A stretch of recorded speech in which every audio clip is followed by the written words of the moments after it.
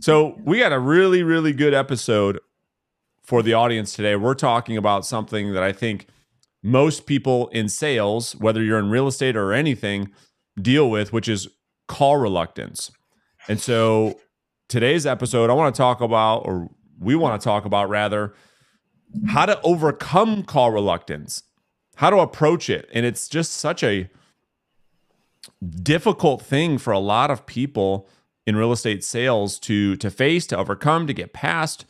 And um, I'm excited to do so. So, and every, uh, everybody who's watching this live in our mastermind, good morning to you guys. Colton, you have the Facebook feed pulled up just in case anybody wants Uh, to yeah, let me refresh. Yes. ask good. questions, hang out. Again, can't come on the show yet, but I'm sure We'll get there. we'll get there. All right, so let's jump into into this. All right, I have all kinds of I've wrote down all kinds of notes and, and I want to talk about a couple different things. However, before we do that, there's a really good book on this topic. And the book is called for the audience, The Psychology of Sales Call Reluctance. This is Hmm. by Oh, wow. yeah, by George Dudley and Shannon Goodson. They have a whole company. Their whole company is a research firm that does studies on call reluctance and how to overcome call reluctance. And they have all types of studies on it. And it's a phenomenal book. They have two books. Wow. Yeah, it's great. I didn't know that. It's very interesting to have a whole company, everything, you know, dedicated to such a topic. Well, here's what's crazy. One of their main studies that they're most famous for showed this is crazy. They showed that call reluctance is the reason why 80% of salespeople fail. Wow. I believe it. It's Yeah, crazy. And, and, and then you look at real estate sales, we all know the stats 87% of people fail out of real estate within the first five years. It makes sense that 80% of it is because they won't pick up the phone. And we're hmm. not talking about, and they do a great job in the studies, call reluctance has, it's not just cold calling, you know, it's just people have a fear of the phone, whether that's to, to call anybody. There's a, I have a Mhm. friend, I'll never forget this. Still to this day, we make fun of him for it. He, you know, back in the day, growing up, you know, it's like what everybody did. We used to hang out, get drunk, smoke cigarettes, do all the things, right? And after uh, uh, uh, the night was about over, at about midnight, 1 a.m., 2 a.m., we do what every drunk kid does, and that's order pizza. Well, this could this kid couldn't pick up the phone. Too scared. Can't order the pizza. Can't do it. Wow. Still to this day, he struggles badly with just anything to do with communicating over the telephone. Call reluctance is a very, very, very real thing. I mean, they did all kinds of brain scans in this book, all kinds of stuff with people that have different levels of call reluctance. But when we talk about call reluctance, it's not just cold calling. You know, a lot of people have a tough time calling grandma because they just Yeah. don't like communicating over the telephone. And so we're going to get into this. It'll be really good.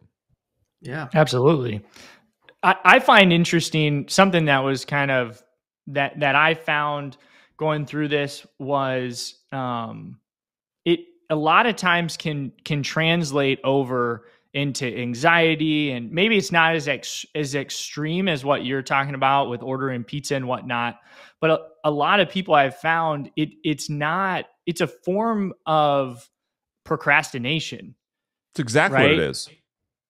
so hey i've got all this stuff going on in my life right? Money issues you know health issues my parents are getting older whatever it might be kids in school i don't know what but and then we sit down to do what it is we know we need to do and we're like man i'm just dealing with all this stuff and now i got to call this guy Mhm. Yep. and I, I need a break. And we jump on and watch, you know, um, play Candy Crush or something. And then next thing you know, an hour has gone by, and now all of a sudden you feel guilty. Yeah. So let I want to. That's what I was. I almost texted you guys because I wanted to get your guys' feedback on. There's two sides to this. There's Mm. call reluctance that has to do with overcoming the fear, and then there's the other side of this, which is how do I fight distractions to be more productive. Mm-hmm. So I want to keep those separate if, if if you guys are good with that. We can get into both, Yeah. but I thought today we'd get we, we'd really unpack the fear piece. We're not talking Mm. about because the other big problem is what you're saying, Ben, is is just not being consistent, you know, being distracted. Just it's a productivity issue. This is more like I, I'm I'm scared. I'm fearful of the phone. So Yeah. if you guys are good with that, we can focus on that. Yeah, Good. definitely. And I Yeah. think, in all fairness, I think they are totally separate things. And, you know, you can fix both of those, but they're also interconnected in the same time. Like They are. your fear could be causing your procrastination. Um, Yeah. But I think starting with the fear and unpacking that will then lead into maybe in a future episode the, the procrastination side. Now that the fear's gone, how do we stay productive at the same time? That's right. And the way I have this broken down, at least on my notes, we can we can dive into this conversation any way you guys want. But I have why first, first off, diving into why we have call reluctance, then the mindset of how to overcome call reluctance, and then I've got I think five, six, seven tactical ways to overcome call reluctance. So, you know what's funny is in in our book, the reverse selling book, you know, I, I tell a story of how real this is, and this is where I think this conversation has to start because call reluctance is real. Nobody should feel bad if they Mm. have it because it is a real thing. And I tell a story about how real it, it is, and that there was there's a lot of people that that in the military once they're done with their kind of like their um their their their role in war i guess you could say they they they progress their career into being a recruiter for the military Mm. and I tell a story in the book that there are many, many military recruiters that would rather face death on the battlefield than pick up the phone. That's how real this fear is. That one person would rather face dying than talk over the phone. I got it from this book, one of these studies. It was in there. And and they they interviewed, not interviewed, they studied a lot of these military recruiters. And a lot of them, so much, they have the fear so much so they can't even be a recruiter in the military. They had to find a different job. They resigned and they couldn't believe it because it's like, man, you could face bullets and missiles and, and RPGs and tanks shooting at you, no problem. I could run into the line of fire more so than I can pick up the phone and call an 18 year old senior in high school and talk to them about joining the Marines. It's unbelievable. So it's a very, very real thing, is the point. Absolutely. Yeah. So let's get into into why, right? And and some of this is based on studies, some of it is just like I guess our, our thoughts. But number one thing I had on my list, I don't know what you guys have on yours, but I, I wrote down ego Mm. because when somebody has the the fear of anything and and this is coming from a guy who had a major anxiety disorder and and that's what's happening here is the ego makes it more about you than it is about the actual activity itself it's a very selfish thing because a lot of people that have this call reluctance it's all about how they feel about making the phone call. I don't want to feel this way. What if this happens? And then they get into the what if syndrome. What if that? And what if this? And what if that? All of those thoughts are selfish. It's all about, well, how am I going to feel? Mm-hmm. Rather than what can this activity, in this case, making an outbound phone call, do for someone else? Yes. Mhm. You see the difference? So ego and you know, we've been talking a lot about this off off the camera, like status. How am I being Mm. perceived by others? It's a Mm. total ego play, which is the root cause of this fear. Your thoughts on that? It, it- that was kind of my sub point of what you were saying is I, I've had this conversation three or four times in the last two days with people, and that's why we we landed on it. And I think the, the thing that helped me the most was those two two things were were huge for me. One, uh, a mentor of mine 15 years ago told me you got to lose your cool card, which is ego. That's right. You got to lose, which means you got to be able to be a little bit vulnerable. And then two, I personally had trouble with accepting the fact of the industry that I was in. I was embarrassed in the first place to be in XYZ, right? A subsection of sales. So for me, the first step was to understand what my profession was and accept that. And mm-hmm. and having and working through that was really discovering do am I willing to be this type of person because you can't avoid it. You you, you are a salesperson, yep. right? And and for me whatever real estate agent or whatever it was, I needed to accept that first because the the the thing I was going through was I was looking, right? What we're about to get into. I was looking for validation through the people I'm talking to.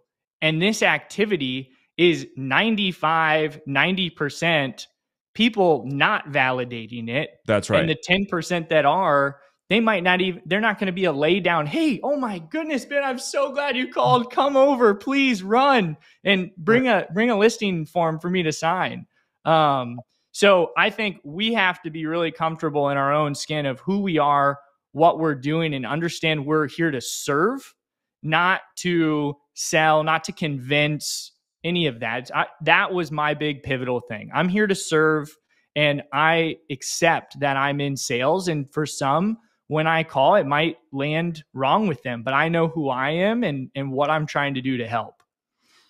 Yeah, and and the other thing is too, and Ben, kind of as you were talking, I was just like thinking in my own mind of like things I've been reluctant of and why, and like I think a big part of it not only has to do with the fear of others judging us, but we judge ourselves. Mm-hmm. I mean. I, I I look back on some of the first calls, Brandon, that I did when we started this company and I was, you know, enrolling agents five years ago into the program. And at the time, I'm all, you know, I was watching all these videos and I'm all confident I'll And, you know, this is, I'm doing so good. And then I listen back to that call and I'm like, dude, like I'm embarrassed of how I sounded. And I think it's because we don't accept our ignorance and we don't forgive ourselves for some of the mistakes we've made in the past. We've all had those cringe moments where you look back on and you just you're judging yourself and you haven't forgiven yourself or allowed yourself to go through those cringe moments. And so just like accept that you're going to have cringe moments and that it's okay to, you know, judge yourself but move on past it. I think we judge ourselves and don't allow us to move on through that. Yeah, there's two yeah, you guys nailed on two really important things Ben, love what you said, and Colton, you, you're nailing it. The, the thing that Ben you reminded me of is prospecting is not a place for you to get your emotions um, affirmed by the prospects. Prospects don't owe us anything. It, it mm-hmm. an act of service, you know, mm-hmm. and it's not a place for you to get the approval validation, from others. Yeah. The validation. Approval. You're not going to get your emotions validated through the act of prospecting. And the problem with that for most is that is exactly what we're looking for in, in, in a herd mentality, which human beings over thousands of years are constantly seeking that validation from the herd.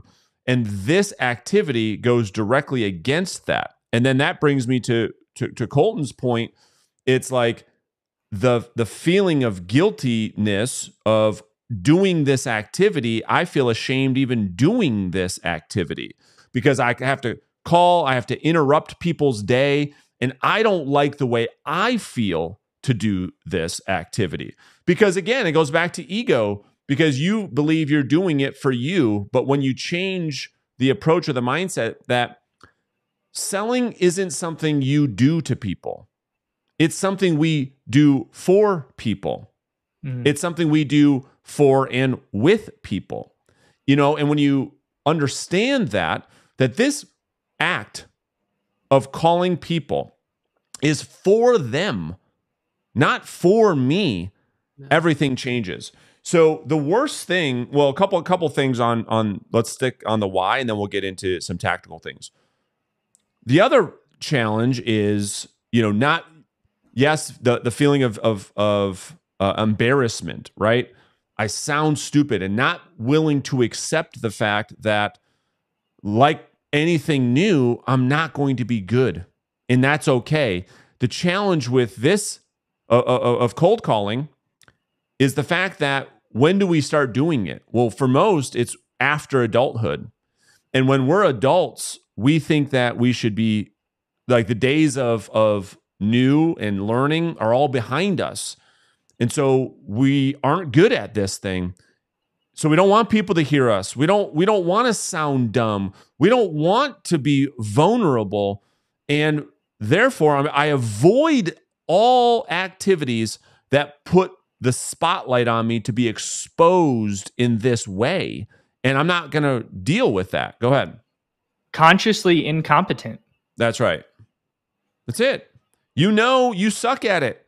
And that's why it makes sense when it when the correlation to this to failure is so high because we know the hmm. activity mm. that leads to success in sales is the conversation with people.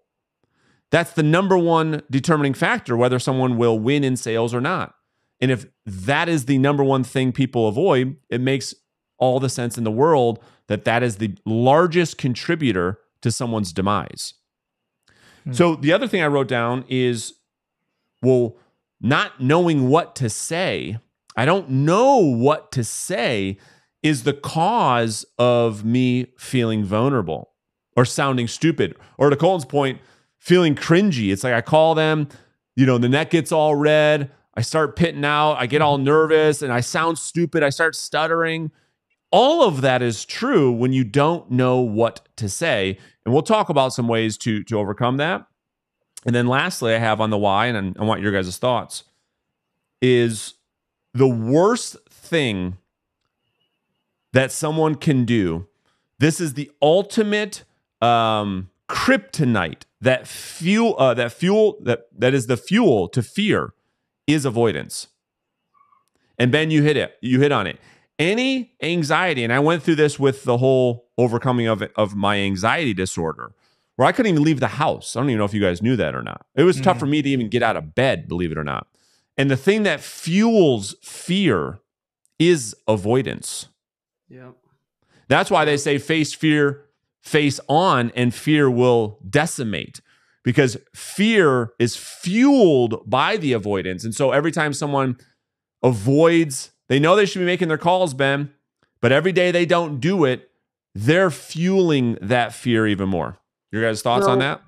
Yeah, I mean, uh, I, am sure you guys have heard um, people talk about this, but the the biological and physiological uh, signs of fear you know your, your heart starts pumping you're getting kind of sweaty you got that little pit in your stomach it's physiologically the exact same thing that you go through when you have excitement.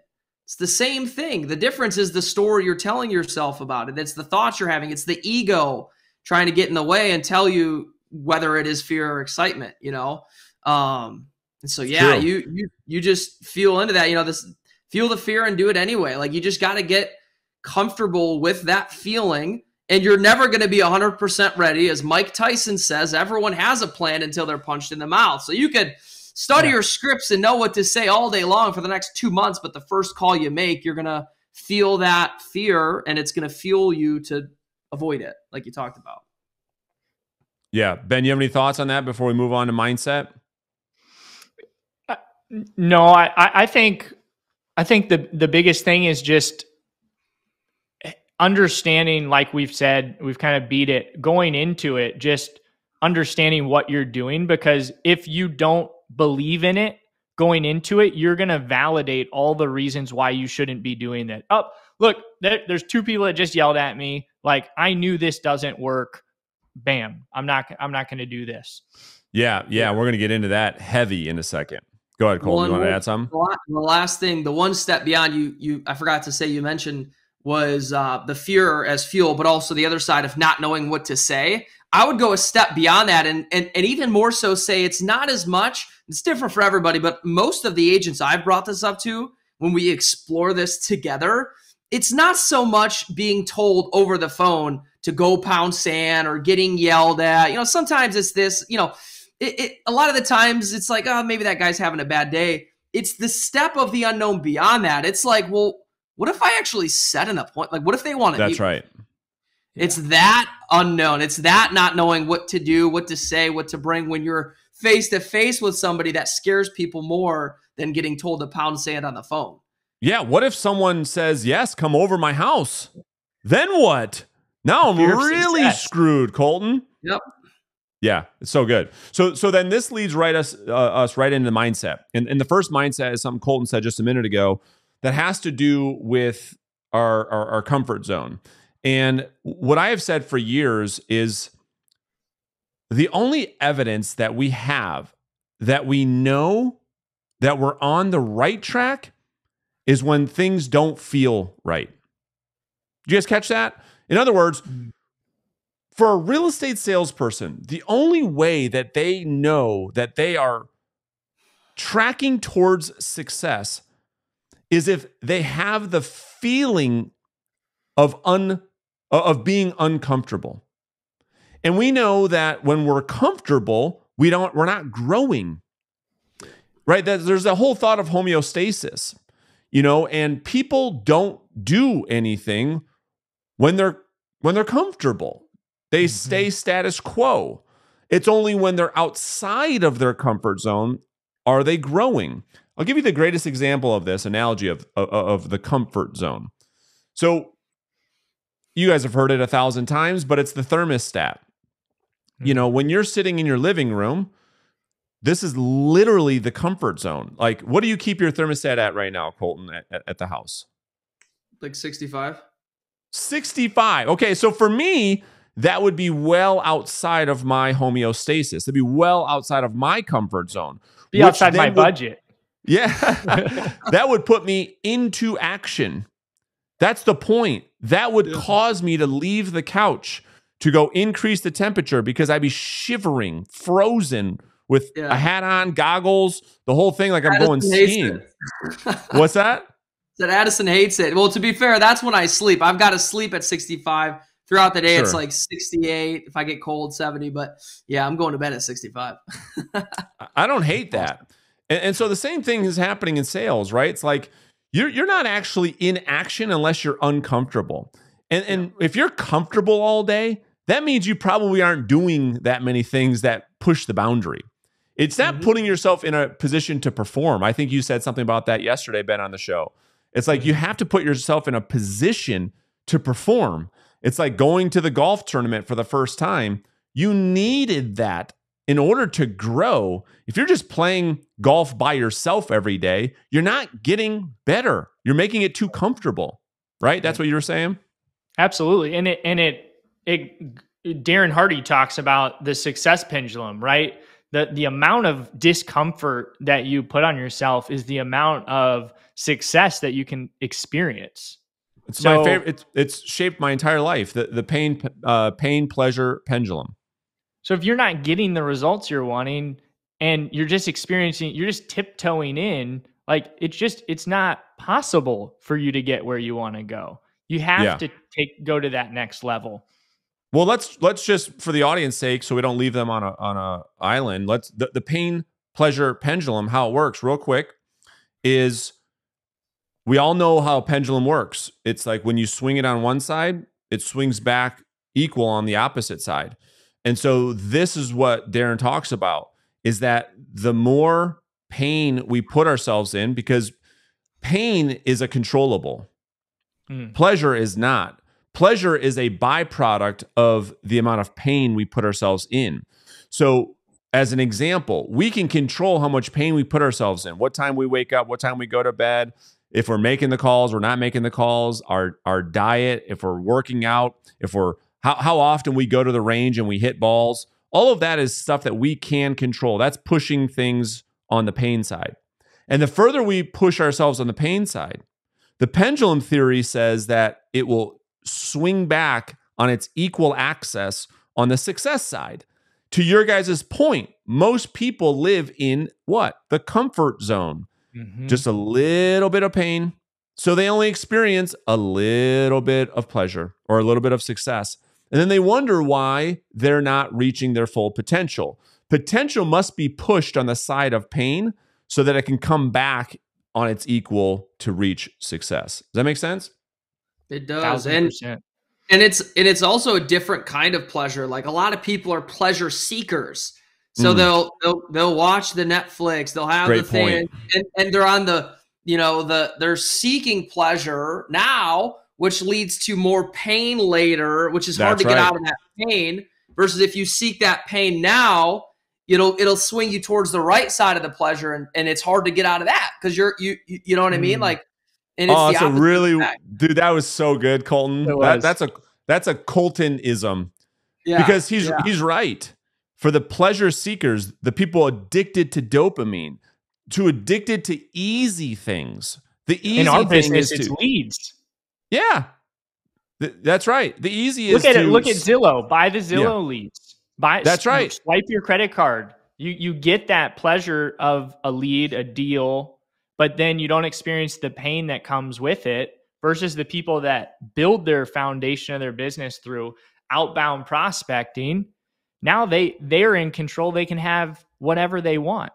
That's the most practical way, is what Ben just said. It's like you could take the easy path now, what you think is easy now, go swipe your credit card, but then you are in massive pain later. This is called hmm. second order consequences. Buy, buy the leads now, don't build a database, forget Yeah. that, and you will find yourself in this business 20 years from now still having to chase leads down. So the mindset is this. This is the first thing that I think has helped, helped me out a lot. You know, when I think about, okay, and I ask this question to agents all the time, and I say, okay, if I were to give you a client and they were ready to list their house, and I said, okay, you're going to deal with with this agent, and I say to Mr. Agent, would you do a good job for this person? Yes or no? Well, yeah, I would do great. Would you do what you say you're going to do? Yes. Would you would you screw them? No, no. I, I would I would do really well. Would you call them? Would you update them? Would you do a good job? Yes, I would do a great job. Okay, great. So is it fair to say then that there are going to be hundreds of thousands of people that buy and sell a house in your market this year? Yes. Okay, cool. And if you worked with them, you would do a great job. Yes. So then it's also fair to say it's selfish of you not to offer to help them.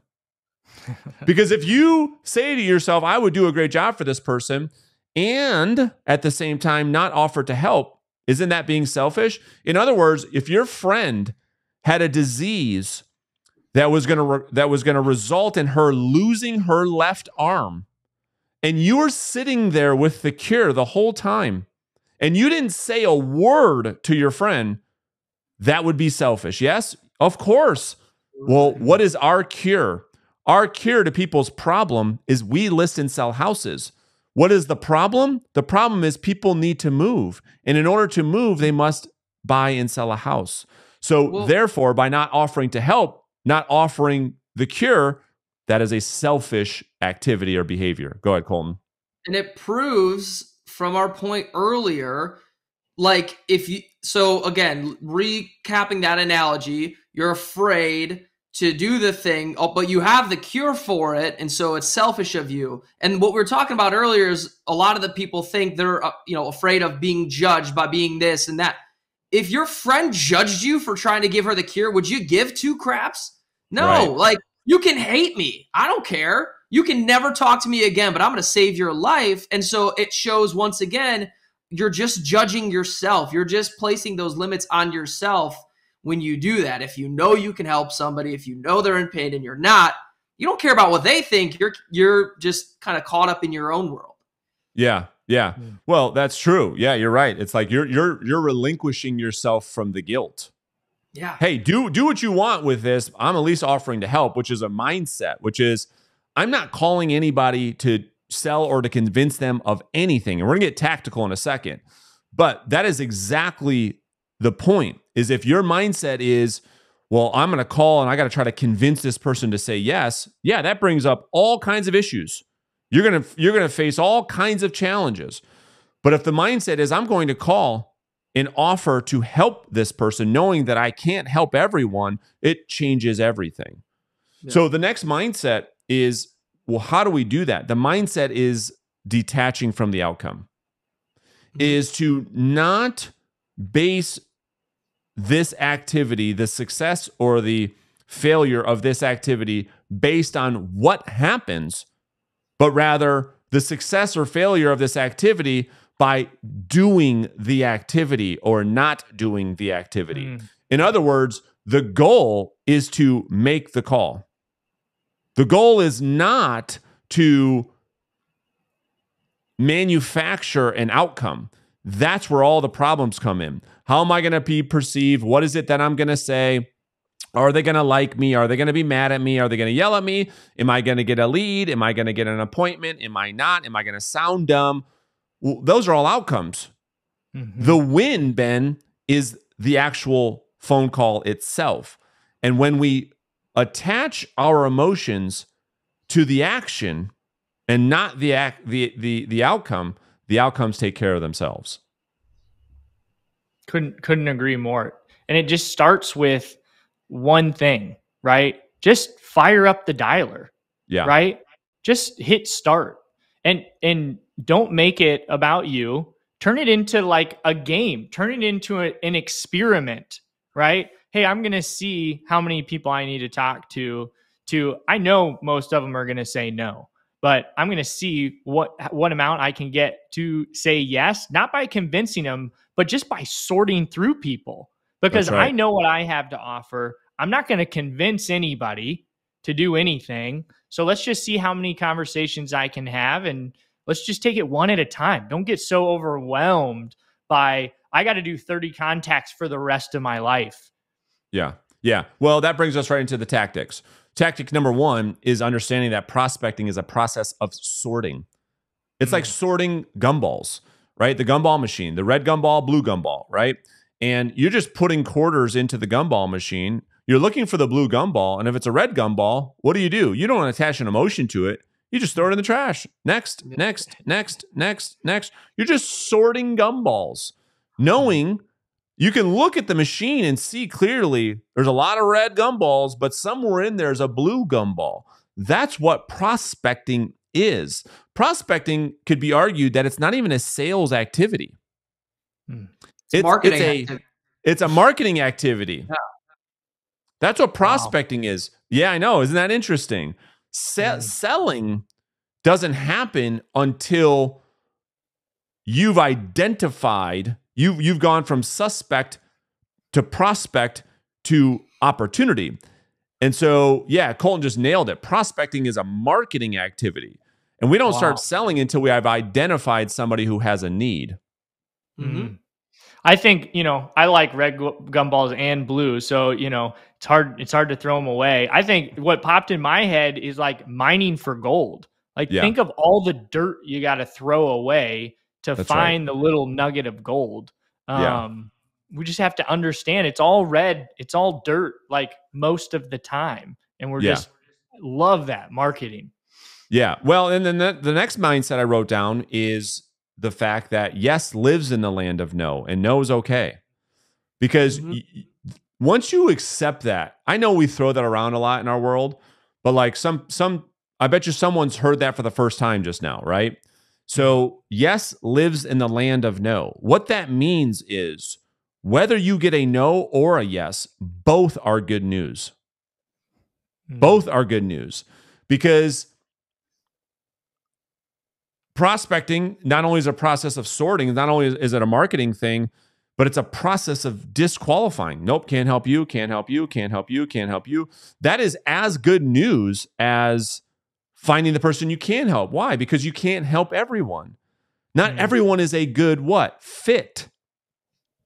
And so the fact that you found someone that isn't a good fit, wouldn't that be reasonable to say, well, that is success because I moved them out of the way on my journey to serve one someone? Yeah, go ahead, Colton. If anything, it should be a relief because you'd rather Yeah. find out a, a no in the first few minutes than trying to, you know, put a square peg into a round hole for weeks and weeks. It's like, oh, thank God I can go find the yes. Yeah.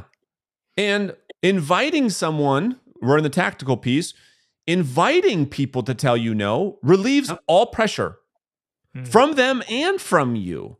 Yeah. It's it's what I call anti-rejection selling. So much so, and I don't even know if I've ever mentioned this to you guys, so this will be the first time on, on a live podcast. So much so that I believe if you can sell in this manner, objections are no longer a thing. They hmm. don't exist. If you use an anti rejection approach, there's no such thing as objections. You've eliminated them all. Well, what do I mean? What do I mean tactically speaking? Right? Because everyone's like, well, how is that possible? Well, here's the tactic. If you use language that would support one's autonomy to decide on their own to self identify a need or not, then all pressure is removed when you assume that there isn't. Here's an example. So if I were to call Colton and I would say, Colton, I'm not even sure this call makes sense. You see, that is the assumption up front that you've taken away from the prospect. I'm not even sure you'd be interested in this. Mhm. And you can use language like that up front. Then the prospect can watch this. If they agree to that statement, there has been no rejection because you brought it up first. And then when they object, is when they shown interest. Did you see Yep. that? So if I say, listen, I'm not even sure this call makes sense. And Colton says, well, actually, it does. He's objected. And by his objection, he self admits interest. Mhm. That is Yep. the anti rejection sales strategy, the foundation of reverse selling. Colton, add, what do you want to add to that? No, you just made me think of, and I, I don't think I've ever told you this either, but you know, I, I think this was when I this was like my first year license, like before I knew you, before before any of this. I think I found you on YouTube, and I was Shocker. shocker, yeah, all, all the way five years ago back then. And I was prospecting and I started to notice like, God, man, every FSBO I call, they all they're all saying the same thing. Like, oh, you're the 10th agent to call me today. But do you have a buyer? This and that. So I'm like, all right, what if I just tried this? And and I and I kind of gathered this from watching some of your videos. I'm like, well, let me just try this. I would call them and say, hold on, let me guess. Am I like the 10th agent to call you today? And they're like, you have no idea. And I'm like, well, I'm just genuinely curious. Like, what are these agents telling you? Are they lying to you, saying they have a buyer? Like, I'm just curious. What are you hearing? Yeah. And like that opened up the. Now that's not. I wouldn't recommend that as a script per se, but just just as a example of like if you start to pay attention and pick up on. I was just starting a conversation, just confronting what I knew was going to come to me up front. well, that's the importance of a pattern interrupt. Hmm. And and to illustrate this point, there's no better way to do that than to think about the scene in the movie 8 Mile. Okay? This is what we're talking about. So we're talking about in, sa- in sales like, "Oh, I don't want to be rejected," right? This is a huge problem in call reluctance. Well, what if there was a world where there was no rejection at all ever? And if you think about the movie in 8 Mile, the last rap battle, Ben, have you seen that movie? I have not. Of course you haven't. I knew, I, I knew, I knew he wouldn't. I, I was looking at his face. He's like, I don't know what you guys are talking about. So, so for every other human on the planet except for Ben Riles that has seen the movie Eight Mile with Eminem, the last rap battle, they go back and forth, right? And and in underground rap battles, the the goal is you you essentially win the crowd by uh by making fun of your opponent in a way that comes out in a rap. Right? That's why they call it a rap battle. So at the last scene, this is the best example of the anti-rejection script Uh, that I've ever seen. It's the better pattern, best pattern interrupt of all time. Eminem gets on stage and he starts making fun of himself. He starts using all of the ammunition that his opponent would use on him. So much so that his opponent comes on stage and says, I got nothing. You win. That's it. He's like, I got nothing to say. And so if you Disarmed did that, yeah, you disarmed him. So what if we did that on, on a sales call? Okay, Mm. so let me give you a really, really practical example. I'll give you the script, right? This is probably one of my favorite scripts to use on a sales call. You call Colton. Colton says, Hi. I say, Colton, listen, this is Brandon. Hey, you probably don't like getting calls like this as much as I don't like making them. Mm. This is the fastest way to disarm a prospect. This is how you pull strategic empathy because you've called into court or into reality the thing that both people are thinking that no one says, which causes people to reject or, or, or- or to push back, sales resistance. You brought it up. And because Mhm. you brought it up, the prospect then can't do anything but empathize with you. When you recognize the fact I'm interrupting your day, you probably don't like this as much as I don't like doing it. But Colton, I was hoping just to ask you something really quick about the home for sale. Would that be okay? Get their permission. Almost every time this results in the prospect says, sure, go ahead. Because you've pulled strategic empathy, and that's the how. You guys' thoughts on that? Nothing, if you're right? You scared got of nothing to say. objection, if you're scared of objection, just start with that. Try If try something different. Don't get objections. That's my That's argument. right. Stop getting them. Getting objections is your fault because Right. you have a responsibility on how people respond to you. If you're Mm-hmm. getting rejected, that is a result of you eliciting psychological reactance. You're doing it.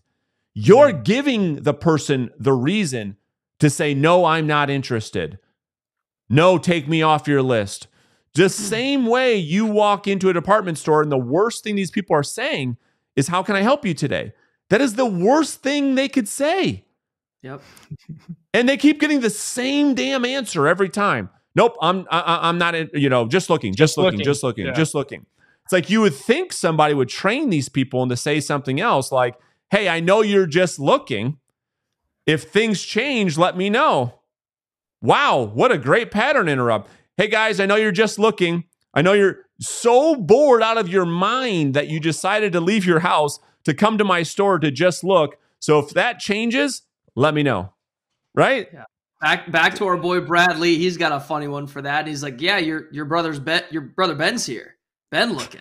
You know, and your, your cousin Stu's your still's here, still looking. You know, and he kind Yeah, of breaks yeah. it with comedy. But I was gonna say, um, all but ten minutes before we we jumped on here, Alex Hormozi just posted new sales training on YouTube, and I'm like two minutes into it, and the way he kind of described that, the whole objection thing is, you know, I don't know how how this finishes, but I'll open the loop. Is you know the objection is something you face at the end, whereas the obstacle is something you can kind of work through in the beginning of a sales call, right? So Yeah. if you save it to the end, it's an objection, but it's an obstacle in the beginning if you confront it up up in there.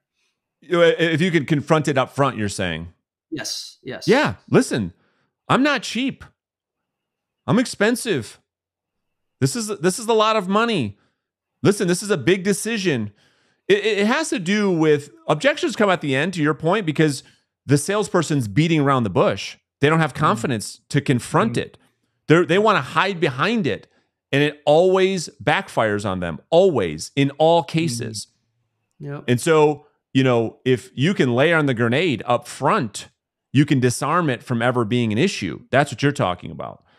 A couple other tactical things, right? So, um, we kind of skipped it all around, but number t- the, the I don't know what number this would be, but another tactical thing would be to practice in, in role play and to record your practice sessions prior to the activity of actually doing it.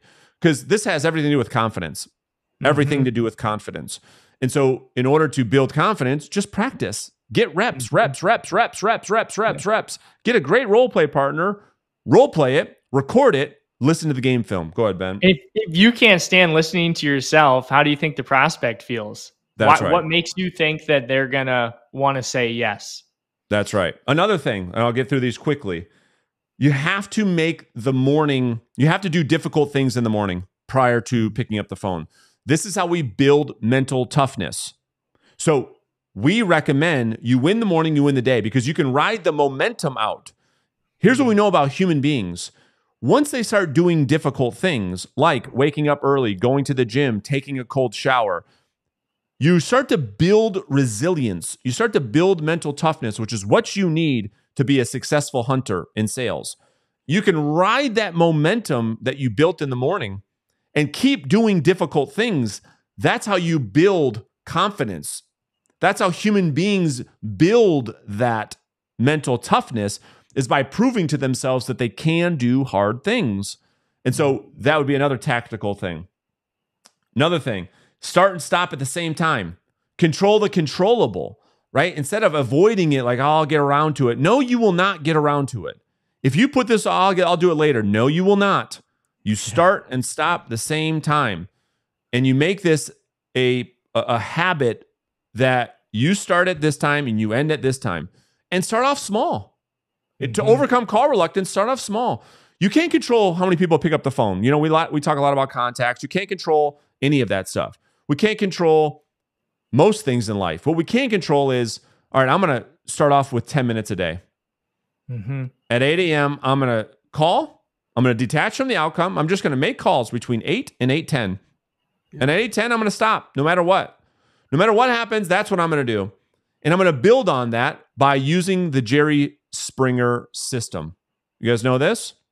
Hmm, tell us. All right, Jerry Springer. This is where this came from.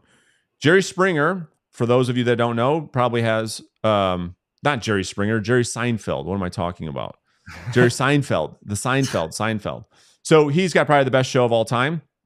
Jerry Seinfeld. What he did was he was responsible for the for a system that most people use now. He wrote every day, no matter what. He sat his butt in the chair and he said, I need to write for an hour every single day. And every time I do that, I earn an X, a big, huge red X with a mm-hmm. Sharpie on my calendar. Jerry Springer, Jerry Seinfeld. So funny. I said that. So he was the one that created this, that it became famous now in habit creation or habit formation. And the gamify becomes to not, it becomes not breaking the chain the chain mm-hmm. of those red X's or blue X's, whatever color Sharpie you like the best, purple, whatever. You have these row of X's, Colton, that stack up day after day after day after day. The human being doesn't want to break that. And so it becomes a game of being addicted to what? The action, not the outcome. And then the outcomes take care of themselves. And in this case, Seinfeld has one of the best shows of all time. Mm-hmm. Right? So that'd be the other tactical piece is set a time limit, do the activity during the time, and then you earn the reward, which is the X. This is the starting mm-hmm. piece of habit formation. Ben, you said something earlier at the show, and I have this um, this last tactical piece is the just one theory. Mm-hmm. And and this is really good. It's that even on the days you don't feel like doing something, it's the anticipation that crushes us. Because in most cases, as soon as you start doing it, you're like, I'm fine. It's the whole thought of like, everybody always says this. As soon as I get to the gym, I'm fine. It's just the getting my ass to the gym is the problem. But as soon as I do the first rep, I'm fine. That's the just one theory. And it works so well in prospecting. It's the thought the night before and the morning of, oh, I just don't feel like I don't feel like it. I don't feel like it. But as soon as you make the first call, you're like, oh, not that bad. That momentum carries is enough in many cases to carry you through a whole prospecting session. So the tactic is don't make emotional decisions in your anticipation of an activity. Mm-hmm. Do one rep and then decide to continue or stop. And if you want and, to stop after yourself. one, do it. Yep. Yep allow yourself to take a step back. That's right. And if you still don't feel like it, let yourself off the hook. You won't have the guilt that I think a lot of people feel when they don't do anything. They don't, they don't do it at all. Right. And then do it again tomorrow and maybe do one more and then let yeah. yourself off the hook and build that muscle. That's right. Gentlemen, it's been fun. Everybody, is there any questions from from our live audience uh, in our mastermind, Colton? Someone uh, uh, earlier mentioned, and we kind of touched on this, but I feel my call reluctance comes from not knowing what to say. What if I say the wrong thing? Fear of the unknown, etc. Yeah, and, and we talked about that on the show a little bit, but I'll just add that we have to accept failure as part of the process to succeed. Mm-hmm. You know, how we talked about yes lives in the land of who who asked that? Oh, let me go and find it. It was Victoria.